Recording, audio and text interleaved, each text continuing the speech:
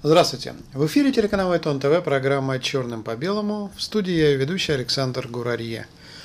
Генерал Франко, фашист, пособник Гитлера, э, союзник Гитлера, Испания, которая железной рукой подавила все ростки демократии и коммунизма в своей стране. Вот этот самый генерал Франко был а, кроме того, что он был фашистом, он был а, мараном, то есть э, крещенным евреем, и сделал, внес очень большой вклад в спасение евреев от геноцида, который проводила фашистская Германия.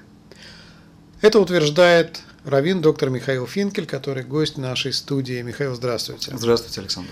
А, так давайте по порядку. Генерал Франко пришел к власти, железная диктатура, военный переворот и так далее, раски... душители свободы. То есть, ну, по крайней мере, так нам подавали э, историю э, предвоенной Испании. Я уверен, что вы помните, я-то тем более помню, книжки испанские про дети, маленьких которые испанских привозили. детей, Да, да, да, да, да, да, да. про то, как фашистские самолеты со свастиками бомбят коммунистов в Испании и так далее. Все это было.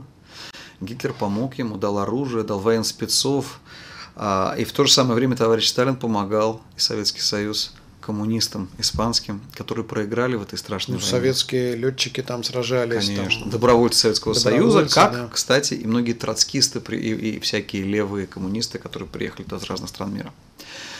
Да, вот такая вот удивительная история. Перенесемся в 1492 год. Испания евреев из, изгна, из, из- изгнание евреев из Испании. Значит, эм, император испанский а, король Фердинанд и королева Изабелла, они сделали евреям такое условие, такое предложение, как говорил От которого нельзя да, от отказаться. которого нельзя было отказаться, да, крестный отец. А, Либо вы становитесь католиками, либо вы изгоняетесь из королевства испанского, потеряв все деньги, все движимое и недвижимое имущество. В то время в Испании живет 300 тысяч евреев. Ровно половина из них решает уйти нищими, потеряв полностью все в Африку, то есть в Марокко. И ровно половина решает остаться, сделав вид, что оно принимает христианство. Мараны – это то слово испанское, которым назвали крестившихся евреев. В переводе это слово означает свиньи. Католики испанские ненавидели маранов и не верили им. И очень часто правильно делали, что не верили, потому что они не чистосердечно приняли христианство. Не искренне. Не искренне, да. Хотя топор был над их головой, да.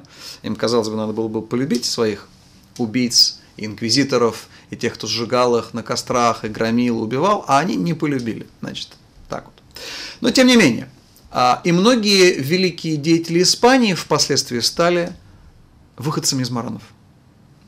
Даже такой одиозный, страшный, настоящий католик, как Тарквимада, который лично убивал евреев и подозревал их во всем, был, а, имел огромную примесь еврейской крови. И вот ничего удивительного нету, что сам а, Франко был из известной семьи раввинов, причем с обоих сторон, и со стороны матери, и со стороны отца, по фамилии Пардо. И, и,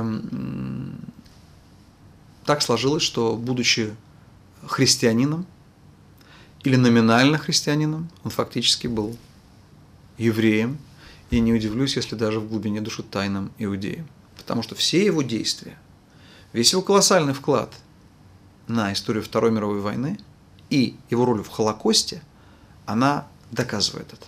Давайте вспомним, что он сделал. Каждая страна считает, что она внесла решающий вклад в победу во Второй мировой войне над немцами. Я, будучи внуком, два мои деда, они офицеры были Красной Армии, внуком ветеранов, конечно же, очень чувствую это. Если мы спросим бывших жителей Советского Союза, или тех, кто выходцев Советского Союза, они, конечно, скажут, что реальным событием или событиями, которое переломило хребет нацистской Германии, это была, конечно, Сталинградская битва и Курская дуга. И, конечно, по-своему это так. Если мы спросим американцев или англоязычных, то они скажут, что это, конечно, высадка в Нормандии Да, в открытие 1944 второго фронта, году, второй конечно. фронт. Но тут есть третье мнение. Это третье мнение принадлежит самим нацистам, которые во время Нюрнбергского процесса говорили об этом, как Геринг и немецкие генералы, и Черчиллю, англичанам. И вот они говорят, что это было поведение генерала Франка. В чем же оно заключалось? 40 год, немцы разбили Францию, взяли всю Европу. В октябре месяце на границе Франции и Испании Гитлер встречается с Франко и говорит, слушай, нам нужно захватить Гибралтар, эту английскую крепость. Там гарнизон, там все. Но если мы это захватим, мы уничтожим и удушим Британию. Английские корабли с грузами не смогут курсировать между Англией и колониями. Мы сразу захватим Северную и Среднюю Африку. Мы будем контролировать Ближний Восток. Там дальше Турция, наши союзники. Советский Союз будет удушен, нельзя будет туда ничего вести. Англия будет на коленях. Америка уже неизвестно, вступит ли в войну. Казалось бы. Для этого был подготовлен план обвером немецкой разведкой о том, как это делать. И тут Франко начинает рассказывать такие сказки. Ну, ваши танки завязнут в песке. У нас железная дорога плохая. Действительно, колея железной дороги, которая была в Испании, отличалась от Франции. Нельзя, говорит, Франко говорит ему, нельзя эффект неожиданности сохранить. Англичане узнают. Начинается какая-то бредовая совершенно беседа. Встреча Гитлера с Франко продолжается более 10 часов. Он говорит, ну что, ну, ну не получится. А потом он говорит, да заплатите нам за это. Все оружие, которое вы будете использовать, пусть останется у нас. И вообще, как нам Испании ссориться с Англией, как не с руки, такая большая морская держава. Дайте нам много зерна, что мы кушать будем, потому что мы везем все из Латинской Америки, очень многие вещи, еду, а тут, может быть, англичане закроют морские пути. И, в общем, чего он только не придумывал – Через 10 часов взбешенный Гитлер вышел из этих переговоров и сказал, я не могу видеть этого жида. Один нос его поганый, огромный, чего стоит. Я чувствую в нем жида. То есть Гитлер знал, что он еврей? Гитлер обладал удивительной интуицией. Он мог не знать, что он еврей. Но будучи настоящим дьяволом во плоти, он мог это чувствовать. Он сказал, этот жид все карты мне портит. Он специально саботирует важнейшее решение моей армии. А Франко не боялся, в принципе, что такое Испания, что такое Германия? Вот. Давайте зададим себе этот вопрос, боялся он или нет. Факт остается фактом. Немцы не взяли Гибралтар, англичане контролировали морские пути, и потом адмирал, э, генерал Роммель и Африка Корпус, африканский корпус, который воевал уже в Северной Африке, не победил так, как должен был бы, если бы Гибралтар принадлежал нацистской Германии. Вторая вещь. Колоссальная роль, святая роль Франка по спасению евреев в Холокосте. Всем посольством Испании генерал Франко говорит спасать всех евреев. Почему? И он нашел юридическую причину. Он говорит, ну как, все очень просто. Было же изгнание из Испании. А когда оно было? 500 лет назад. Ну так эти все евреи наверняка Мои. принадлежат испанской культуре. Наша честь обязывает нас спасать евреев, принадлежащих испанской культуре. Значит, вначале это все аргументировал, как только мы сефардов будем спасать, то есть испаноязычных евреев. И действительно спасает. Спасает евреев Салоник. Вытаскивает евреев даже из Освенцима, из концлагеря Берген-Белзен. А все испанские посольства выдают евреям спасительные грамоты. То есть то же самое, что делал Рауль Валенберг, объявленный святым. А Франко никто святым не объявляет.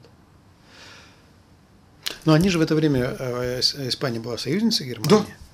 Конечно. Точно так же, как Маннергейм, а, финский лидер Маннергейм, он был союзником Гитлера и вместе с тем не дал ни одного еврея практически нацистам на истребление. А в финской армии служили евреи а, и офицерами, и солдатами, и были полевые синагоги, и были полевые капелланы, раввины. Это при всем при том, что на крыльях финских самолетов, которые они получали от Гитлера, были свастики. И вся форма, и все остальное. И финская армия участвовала в блокаде Ленинграда и все остальное. Но лидер Финляндии не позволял расовой политике Германии, как Тотин сказал, это мои евреи, это мои граждане, я не дам вам их. Так вот, Франко, помимо этого, он еще спас. И историки а, сейчас задают вопрос, а сколько он спас? а счет-то идет на сотни тысяч человек. То есть получается, что Франко нужно подать документы в музей Яд Вашем для того, чтобы признать его праведником мира? Я думаю, это никогда не произойдет. Но я думаю, что он, э, во всяком случае, в еврейском вопросе признан праведником мира там, где ничего мнение не важно.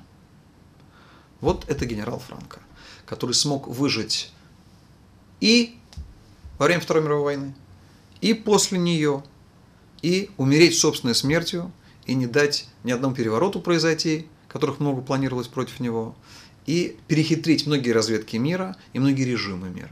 И Гитлера перехитрил, и Сталина перехитрил, и англичан с американцами. Вот такой вот интересный человек. Но коммунистов он все-таки покрошил там свое время. Ну да, да, да. Это Ну что, спасибо большое, спасибо, Михаил. Это интересные факты. Генерал Франко все-таки в нашем сознании это вот такой кровавый, кровавый генерал, практически пиночет, даже еще хуже. Спасибо. Программа «Черным по белому». Всего доброго, до свидания.